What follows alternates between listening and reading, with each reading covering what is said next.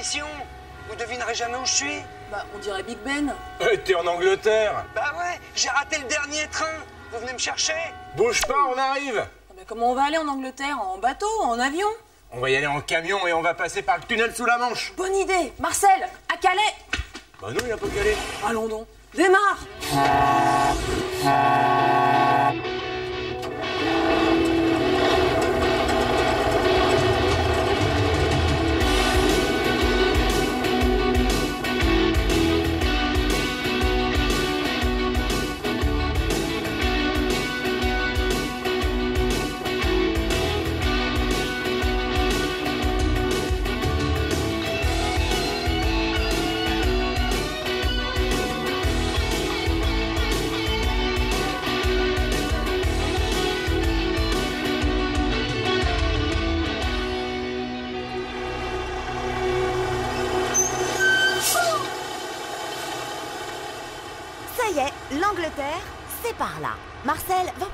au péage, on te rejoint, d'accord? Pendant ce temps-là, nous, on va faire une petite visite. Pour emprunter le tunnel sous la Manche, en voiture ou en camion, il faut se rendre au terminal de Coquel, près de Calais. Nous sommes au centre de contrôle routier. D'ici, on voit passer tous les véhicules qui vont faire la traversée et on les oriente vers les différents quais d'embarquement. Ça va Marcel? J'arrive J'arrive Marcel pour contrôle fret. C'est bon, vous pouvez vous diriger en voie de péage. Bon, ça y est, Marcel, t'as ton ticket? Alors en voiture. L'entrée du tunnel coûte entre 45 et 300 euros l'aller-retour selon la période. Il y a beaucoup plus d'anglais que de français qui l'empruntent. Marcel, vas-y Je te rejoins sur le quai À une époque, on a estimé qu'il n'y avait pas suffisamment de moyens de transport entre l'Europe et l'Angleterre. C'est pour cette raison qu'on a creusé le tunnel. Il a été inauguré en 1994 et aujourd'hui, il accueille 20 millions de passagers. Et l'avantage du tunnel, c'est que de quai à quai, la traversée dure 37 minutes alors qu'en ferry, il faut une heure et demie. Alors, qui circule dans le tunnel? Des trains, mais pas n'importe lesquels. Il y a d'abord l'Eurostar qui transporte des passagers sur les liaisons Paris-Londres et Bruxelles-Londres. Il y a également des trains de marchandises qui viennent d'un peu partout, mais dont on change la motrice quand le train arrive à Calais pour qu'il puisse emprunter le tunnel. Enfin, des navettes qui font des allers-retours à l'intérieur du tunnel et qui transportent d'autres véhicules, des voitures, des camions, des autocars qui ont embarqué à Coquel et qui débarquent à Folkestone. Alors si le tunnel a été creusé ici, ce n'est pas par hasard, c'est tout simplement parce que c'est à cet endroit que la distance entre la France et l'Angleterre est la plus courte, 33 km 500. Depuis au moins deux siècles, l'homme rêvait de construire un tunnel sous la Manche. À l'époque de Napoléon, un ingénieur français imagine un tunnel pour faire passer les diligences. Il y a encore bien d'autres projets. Puis en 1880, on commence enfin à creuser un tunnel ferroviaire. Mais les Anglais ont peur d'être envahis et les travaux s'arrêtent alors que 2 km sont déjà forés de chaque côté. À la fin des années 80, Français et Britanniques signent un accord pour la construction du tunnel. Parmi plusieurs projets en compétition, c'est Eurotunnel qui l'emporte. Enfin, le 1er décembre 1990, à midi, les équipes françaises et britanniques se rejoignent sous la Manche. La jonction est faite, l'Angleterre n'est plus une île. Jamy, viens voir Tu connais cet endroit? C'est le puits de Sangatte c'est ici, côté français, que tout a commencé. Pendant la construction du tunnel qui a duré un petit peu plus de 5 ans, le puits de Sangatte, c'était la porte d'entrée du chantier. C'est par ici que les hommes et le matériel descendaient dans le tunnel et c'est par ici également qu'on évacuait les déblais. Ce puits est immense, plus de 60 mètres de profondeur et 55 mètres de diamètre. On pourrait facilement y loger l'arc de triomphe. Alors à la fin des travaux, le puits de Sangatte a été bouché. Là en ce moment, je marche sur le toit du tunnel et il a été transformé en bouche d'aération. À l'intérieur de ces deux énormes tuyaux, on trouve de puissants ventilateurs qui envoient de l'air frais dans l'ensemble du tunnel. Entre Coquel et Folkestone, la mer n'est pas profonde, pas plus de 40 mètres. Et le tunnel a été construit 50 mètres en dessous du fond de la mer. Donc, Jamy, t'es bien sûr que l'eau ne peut pas s'infiltrer dans les galeries Pas de panique Le tunnel n'a pas été creusé dans du sable. Alors qu'ont découvert les géologues Eh bien, sous la mer, une couche de craie grise et blanche. Pas la peine de vous faire un dessin, vous savez à quoi ça ressemble. Et si vous la mettez dans l'eau, vous constaterez qu'elle est poreuse, donc très mauvais pour y creuser un tunnel. Sous la craie blanche, une couche de craie bleue. C'est beaucoup mieux, c'est plus résistant et c'est quasiment imperméable. Sous la craie bleue, une couche d'argile. C'est parfaitement imperméable. En revanche, c'est un peu mou. Vous imaginez creuser un tunnel dans du chewing-gum et puis sous l'argile, du sable. Conclusion, le tunnel a été creusé dans la couche de craie bleue à partir de deux puits, le puits de Sangatte en France, là où se trouve Sabine, et le puits de Shakespeare Cliff en Angleterre. Alors le tunnel a été creusé à la fois entre ces deux puits et vers les terminaux français et anglais. Pour tracer le tunnel dans cette couche de craie bleue, les géologues ont fait toute une série de forages. Et c'est grâce à un coquillage présent uniquement dans cette couche qu'ils ont pu se repérer. Ensuite, les tunneliers sont entrés en action. Un tunnelier, c'est une gigantesque taupe qui pèse plus de 1200 tonnes. Il transporte derrière lui un convoi de 250 mètres de long. Sa tête est munie d'une broyeuse qui réduit la roche en miettes. Le tunnelier progresse lentement, de 5 mètres par heure. Et en même temps, il pose des plaques en béton qu'on appelle des voussoirs, qui forment l'enveloppe du Ajustées au millimètre près, les plaques sont parfaitement étanches et indéformables. 10 000 ouvriers et 11 tunneliers ont travaillé nuit et jour pour venir à bout de ce tunnel. Le 6 mai 1994, c'est le grand jour. Le tunnel ouvre ses portes. Et ses premiers clients sont la reine d'Angleterre et François Mitterrand.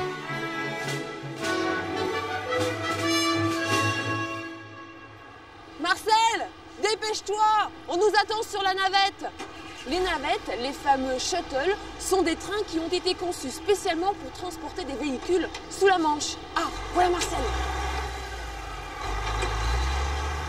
Stop, stop Marcel. Attends-moi. Je monte avec toi. Vite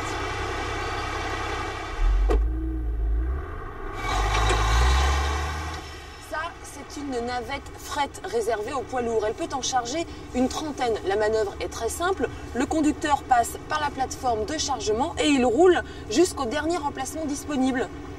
À l'arrivée, c'est très simple, il sortira en marche avant puisqu'à l'autre extrémité du train, il y a une plateforme de déchargement.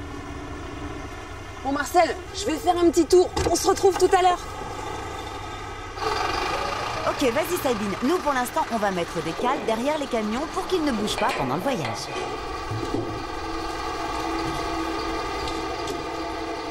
Et Marcel, j'ai pris un vélo parce qu'une navette, c'est 800 mètres de long. Alors ça, c'est une navette tourisme. Elle est réservée aux véhicules passagers. Le principe d'embarquement est le même que pour les navettes fret.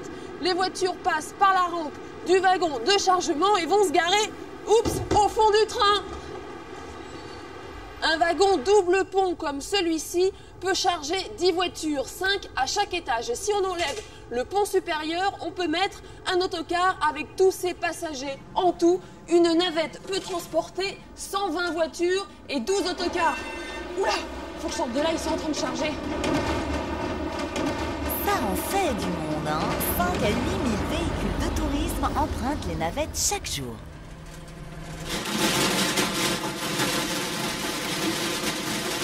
Ça y toutes les voitures sont installées. Alors juste avant le départ de la navette, les wagons sont ventilés pour les débarrasser des gaz d'échappement. Et puis ils sont isolés les uns des autres par des portes coupe-feu. Mais les passagers peuvent quand même passer d'un wagon à un autre. Les voitures qui roulent au gaz sont interdites dans le tunnel.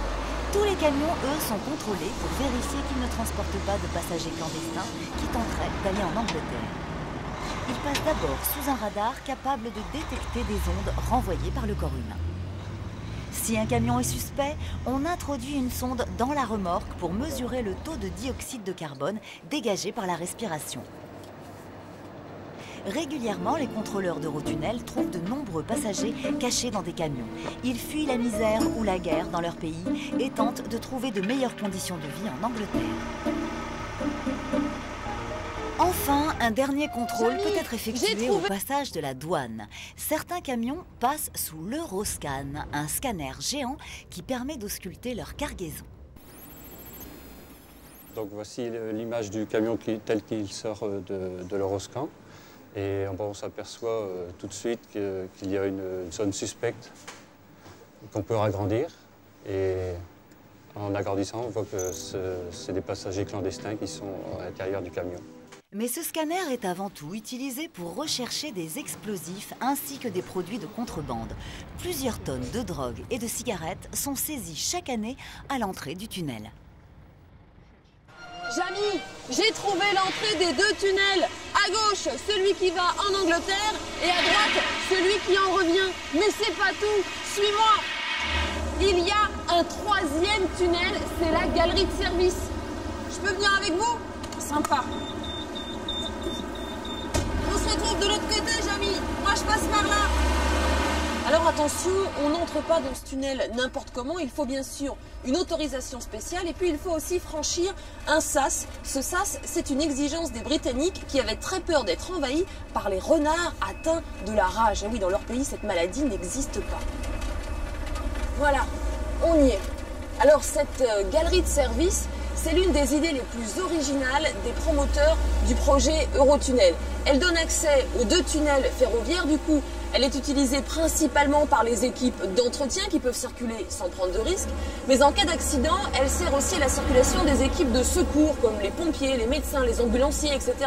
Et puis enfin, elle peut être utilisée comme refuge pour les passagers au cas où un train serait bloqué dans l'un des deux tunnels. Ça y est, Jamy, on est sous la Manche. Tu te rends compte? Sous la Manche Mais nous aussi, on y arrive. Ça y est, on est dans le tunnel. Alors récapitulons, que les choses soient claires. Parce que on dit le tunnel, c'est un effet de manche. En fait, il y en a trois.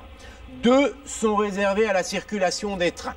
Les trains qui vont vers l'Angleterre empruntent le tunnel sud et les trains qui viennent vers la France empruntent le tunnel nord. Entre ces deux tunnels, il y en a un troisième, un tunnel de service, qui peut également servir de refuge aux passagers en cas de problème. Ils y accèdent par des rameaux de communication qui sont disposés tous les 375 mètres. Alors avec ce système, eh bien, les navettes, qui rappelons-le ne dépassent pas Coquel en France et Folkestone en Angleterre, eh bien, ces navettes passent leur temps à faire des boucles. L'ennui, c'est que si les navettes tournaient en rond, eh bien, elles prendraient leur virage toujours dans le même sens, dans celui des aiguilles d'une montre, et les roues ne s'useraient que d'un seul côté. Et entre nous, c'est pas bon du tout pour un train.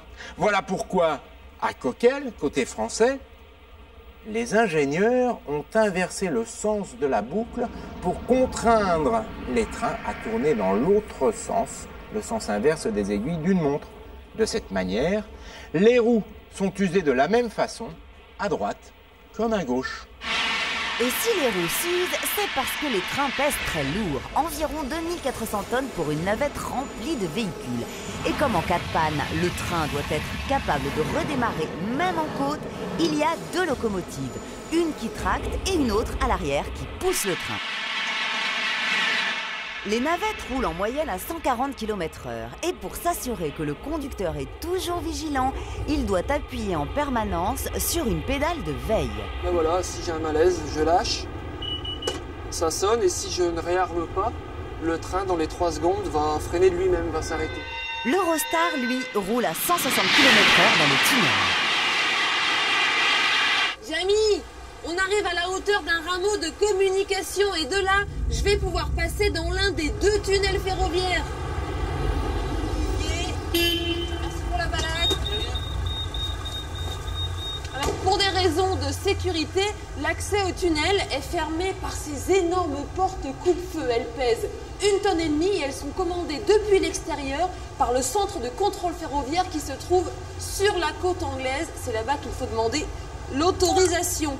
Vous pouvez m'ouvrir la porte 5, 7, 6, 4 Est-ce que la porte est bien dégagée, à vous Oui, oui, la porte est bien dégagée. Ok, donc lance l'ouverture du CP 5764.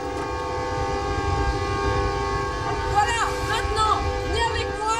On va rejoindre le personnel d'entretien qui travaille dans le tunnel. Il y a un peu de vent, hein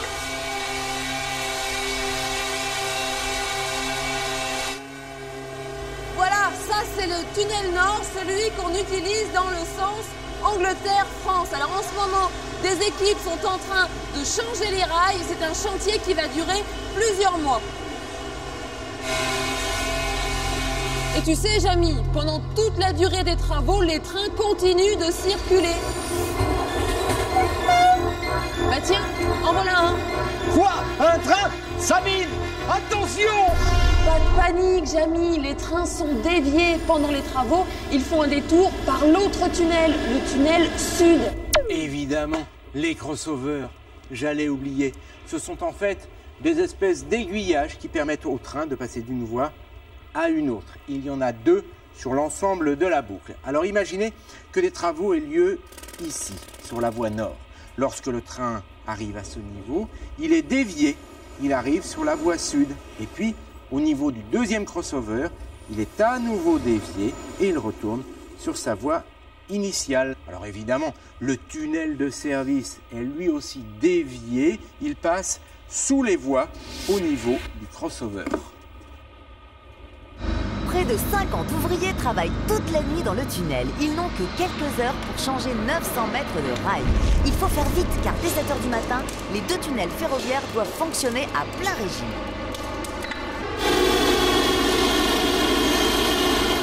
Une fois que les rails sont posés et soudés, on fait passer un train spécial qui les meule sur toute la nuit. Le principal ennemi dans le tunnel, c'est la poussière qu'il faut nettoyer plusieurs fois par semaine. Les trains passent en révision dans cet immense bâtiment qui mesure près d'un kilomètre de long et qui peut contenir une navette entière. Tous les 12 jours, on inspecte principalement les systèmes de sécurité, les freins et les roues. Et tous les 18 mois, chaque train est complètement démonté. Chaque fois qu'un train passe dans le tunnel, il déplace une énorme masse d'air. Alors cet air est évacué par ces orifices qu'on appelle rameaux de pistonnement et il passe directement dans le second tunnel ferroviaire. Tiens, tu entends, Jamy? Il y a un train qui passe dans l'autre tunnel et je peux te dire que ça fait un sacré courant d'air. Eh ben dis donc, ça a l'air de drôlement souffler. Alors quel est le problème? Eh bien, dans le tunnel, le train se comporte comme un piston. Il pousse l'air car l'air ne peut pas s'évacuer comme en extérieur sur les côtés. L'air s'accumule donc devant le train. Et si rien n'était fait, eh bien, ce bouchon d'air finirait par provoquer des échauffements et par ralentir le train. Voilà pourquoi régulièrement, il est évacué dans le tunnel voisin grâce aux fameux rameaux de pistonnement qui sont disposés tous les 250 mètres. Eh les amis, j'en suis déjà à mon 15e thé. Je vais vous attendre encore longtemps Ouais, ben, un peu de patience, hein. D'ailleurs, on vient d'arriver en Angleterre. Et toi, Sabine, t'en es où? Moi aussi, Jamy, je suis arrivée en Angleterre et je vais te montrer un endroit très impressionnant. Nous sommes ici au centre de contrôle ferroviaire. Ce centre fonctionne exactement comme la tour de contrôle d'un aéroport. Depuis cette salle, les contrôleurs voient tout ce qui se passe dans le tunnel grâce à ce gigantesque tableau synoptique. Alors de ce côté-ci, on a le terminal anglais, Folkestone, et de l'autre, le terminal français, Coquel. Grâce à ce système, on peut suivre la progression des trains en temps réel. Et des trains, il y en a 360 par jour en moyenne. Ça fait un train toutes les 4 minutes. Les contrôleurs ont donc pour mission d'organiser ce trafic. Alors Christian, est-ce qu'on peut dire que les contrôleurs travaillent comme les aiguilleurs du ciel? Est-ce que ce sont eux qui donnent aux conducteurs l'autorisation d'entrer dans le tunnel? En fait, nous avons deux méthodes pour autoriser les trains à rentrer dans le tunnel. La première étant une méthode automatique, c'est-à-dire que nous rentrons une planification précise de tous les trains qui doivent circuler dans le tunnel, et lorsque tout est à l'heure, nous avons simplement à surveiller que tout se passe bien. Une méthode manuelle, lorsqu'on a des trains qui sont en retard, et là, le contrôleur doit autoriser l'entrée des trains dans le tunnel. La voie est divisée en plusieurs cantons de 500 mètres de long qui permettent de localiser les trains. Entre deux navettes, il doit y avoir au minimum trois cantons, c'est-à-dire un kilomètre et demi. Si un train s'arrête, le conducteur du train suivant reçoit automatiquement l'ordre de s'arrêter. Chaque wagon est équipé de détecteurs d'incendie et de caméras vidéo qui sont contrôlés à l'arrière par le chef de train. En cas de problème, il alerte le conducteur qui s'arrête le plus près possible d'un rameau de communication. Puis les membres de l'équipage et les pompiers évacuent les passagers vers le tunnel de service en quelques minutes. Là là, bah dis donc, il y a du courant d'air là-dedans. Oh là là, ça décoiffe. Le problème en cas d'incendie, ce sont les fumées et les gaz. Comment éviter qu'ils ne pénètrent dans le tunnel de service quand la porte est ouverte au moment où les passagers vont s'y réfugier? Eh bien la solution, c'est que l'air dans le tunnel de service soit en surpression par rapport à l'air dans le tunnel ferroviaire. Qu'est-ce que ça veut dire? Eh bien dans le tunnel de service, l'air est comprimé comme dans un ballon de baudruche. Et lorsqu'on ouvre la porte, eh bien c'est comme quand on ouvre un ballon de baudruche, l'air circule dans le sens tunnel de service, tunnel ferroviaire. Et à mon avis, Sabine, tu devras aller faire un tour dans le tunnel de service. Ça doit décoiffer. Ok, Jamie, j'y retourne, mais c'est bien parce que c'est toi. hein. Oh, t'as raison. Si on ouvre la porte de communication pour évacuer les passagers en cas d'incendie dans le tunnel, eh bien les rentrants dans la galerie de service dans le tunnel ferroviaire et empêcher la fumée de rentrer. On est un peu décoiffé, on a un peu froid, mais au moins on n'est pas intoxiqué. Et pour éviter que les gaz et les fumées ne stagnent dans le tunnel ferroviaire, d'énormes ventilateurs placés au niveau des puits de Sangatte et Shakespeare Cliff créent un flux d'air qui chasse ces fumées. En novembre 96, un camion situé dans une navette fret prend feu juste à l'entrée du tunnel. L'incendie se propage sur une dizaine d'autres camions, ainsi que sur la locomotive de queue. Le convoi ne stoppe pas tout de suite. Le train s'est arrêté euh, après avoir franchi un certain nombre de kilomètres, d'une part parce qu'il avait perdu l'alimentation de la traction électrique, et tout de suite, pratiquement derrière, nous avons eu ce train qui a été euh, enfumé totalement par euh, la puissance du feu euh, qui provenait d'un camion. L'enquête a révélé que c'était un acte criminel. Les dégâts sont considérables. Le tunnel restera fermé six mois et certaines procédures de sécurité seront modifiées. Une fois par an, les pompiers et le personnel du tunnel feront un exercice de secours. Au moins, avec vos histoires, j'ai eu une bonne idée. J'ai acheté des actions Eurotunnel. Je crois que j'ai fait une bonne affaire, elles sont pas chères. T'en penses quoi, Jamy? Mais j'en pense que ça n'a pas toujours été une bonne affaire. En effet, au début, quand la décision a été prise de creuser le tunnel sous la Manche, les États français et anglais ont décidé de ne pas participer au financement de l'opération. Une société privée, Eurotunnel, a donc été créée. Elle est allée chercher de l'argent auprès des banques et auprès des actionnaires, c'est-à-dire des gens comme vous et moi qui ont acheté des actions Eurotunnel au prix de 35 francs l'unité.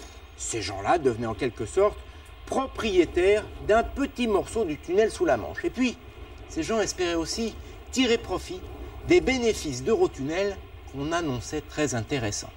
On en a tellement dit que beaucoup de gens ont voulu acheter des actions Eurotunnel. Et le prix de l'action a grimpé. Il a atteint 120 francs. Seulement, au bout de quelques temps, on a annoncé que le tunnel n'allait pas coûter 30 milliards, mais 90 milliards. Du coup, les bénéfices étaient beaucoup moins intéressants. Alors, beaucoup d'actionnaires ont voulu se séparer de leurs actions. Mais cette fois, il y avait beaucoup moins d'acheteurs. Alors, le prix de l'action a descendu. Et il a même chuté jusqu'à 4 francs en 1996. Le cours de l'action a encore chuté, principalement à cause de la dette colossale qui pèse sur les finances de la société. Et en plus, le tunnel sous la Manche subit la baisse du trafic entre la France et l'Angleterre. En avril 2004, un groupe d'actionnaires individuels a pris le pouvoir à la tête d'Eurotunnel. Ils souhaitent renégocier auprès des banques la dette que la société a bien du mal à rembourser.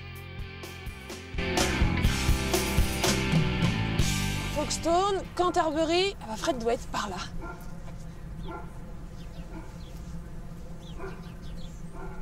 Uh, excuse me, sir. Have you seen Fred? Who? Fred. Fred? Yes. Oh yes, Fred. Yes. No, Mais- no, no, Ah. not, not at all. Bon, thank you. Où est-ce qu'il est passé? Bah, je suis où, je suis où? Et ça, c'est Big Ben peut-être? Ah bon? T'es rentré à Paris? Bah évidemment, j'en avais marre de vous attendre. Moi, j'ai pris l'Eurostar dans l'autre sens, hein. Allez, euh, bah je vous attends, hein. Bon bah, bah, on arrive. Qu'est-ce qu'ils ont tous euh, Ça va Excuse me, sir, you should drive on the left. On the left Yes, sir, on the left. On the left. On the left. Oh On the left À gauche, Marcel On est en Angleterre Eh ben, on n'est pas près de voir le bout du tunnel.